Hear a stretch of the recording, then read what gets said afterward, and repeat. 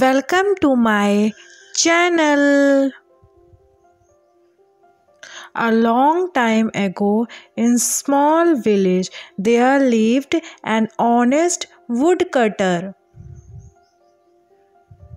He went into the surrounding forest every day to cut trees. He returned to the village with the woods and sold them to a merchant to get money. He was content with his modest lifestyle.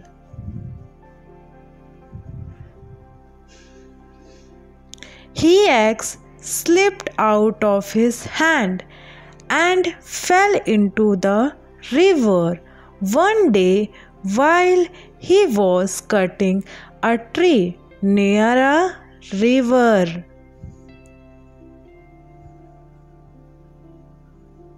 he could not imagine retrying it on his own because the river was so deep.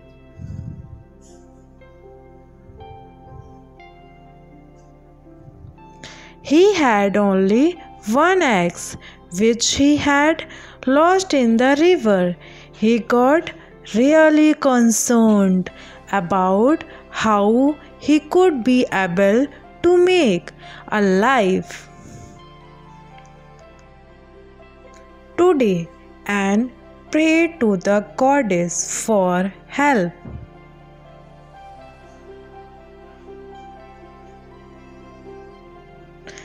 Mercury emerged as the god of water. He inquired as to why he was crying. The woodcutter expressed his dissatisfaction. Mercury then split the water and gave him a golden axe. The woodcutter refused to accept it.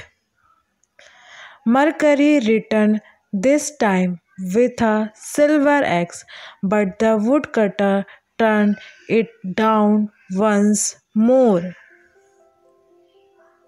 After that, he arrived with an iron axe. It was gracefully accepted by the woodcutter.